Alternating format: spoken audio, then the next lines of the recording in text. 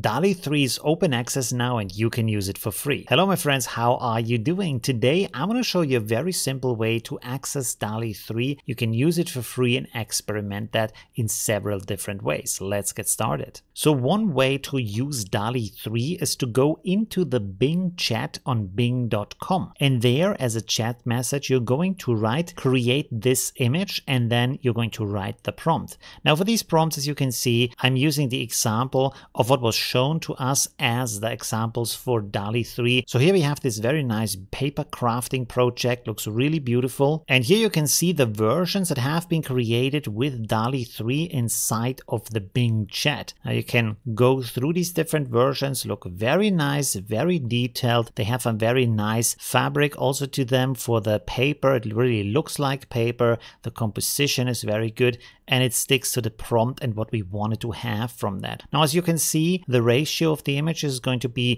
1024 by 1024, and there doesn't seem to be any way to change the ratio at the moment. But you can also see up here it says image creator, it's saying powered by DALL-E 3, so that this is actually using DALL-E 3. As a comparison, I have here images that have been created by Midjourney with the same prompt for the paper crafting. They look pretty interesting. Some look like digital paintings though, but there are some very interesting results from that. And as you can see, they look a lot like Midjourney would do things. So I'm also very happy with these results. All of this is a first roll. And here we have another example inside of Automatic 1111 using the Juggernaut XL model. You can see that the results are very nice. In this case, I find that they actually stick closer to the paper craft because this is actually a 2D layered paper collage and the result looks really good and very authentic for what you would expect from this kind of project. One thing I want to point out here is that I'm using the extension SDXL styles and then there I selected the paper cut collage style for that. Here's a video where you can check out how to use that extension and also how to create your own styles using ChatGPT inside of this list of different styles. So this is a very, very useful extension. Now let's go back to Bing because there's also a second way how to use this without the chat. You can see that now I'm in something called the image creator.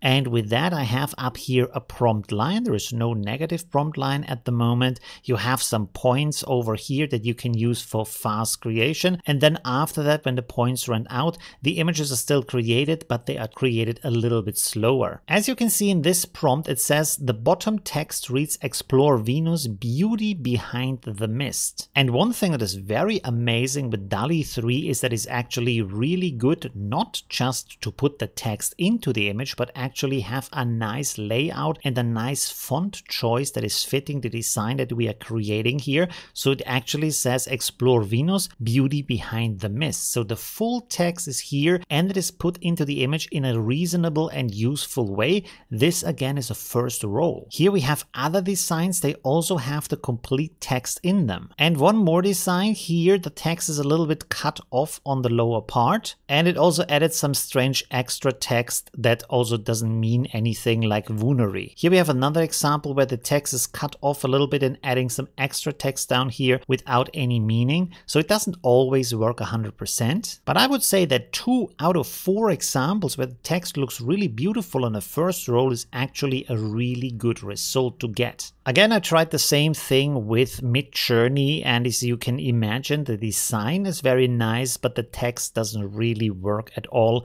It just says some random stuff. But the good thing, of course, is with Midjourney that you can design different ratios in there, and the design still works very well. And after all, especially because in these cases the text is separated from the image, you can just put your own text afterwards in an image editing software. However, not all of these images show a rock rocket that is flying to Venus, so it doesn't really stick to what we want to have here. Probably I have to adapt the prompt to get a better result. And here again, we have an example that is using Automatic 1111 with Juggernaut. You can see here that in this case, the word Venus has been used. The rest of the text was not applied, but the design is beautiful. It has a rocket in there. However, I want to point out that I used several generations to even get a single word into the design. Also for this, I'm using the SDXL Styles extension. In this case, I selected advertising as my style choice. And last but not least, I tried another prompt from the presentation page about a middle-aged Asian woman. Here, it first said it cannot create the image,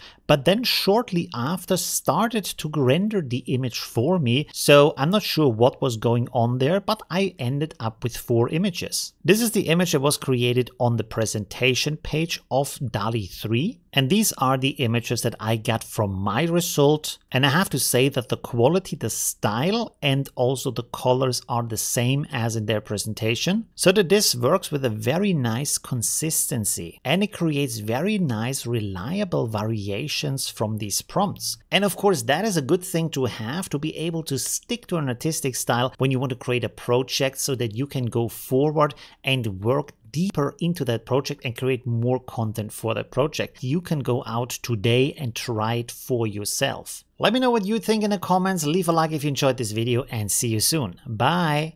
Oh, you're still here. So uh, this is the end screen. There's other stuff you can watch like this or that's really cool. And yeah, I hope I see you soon.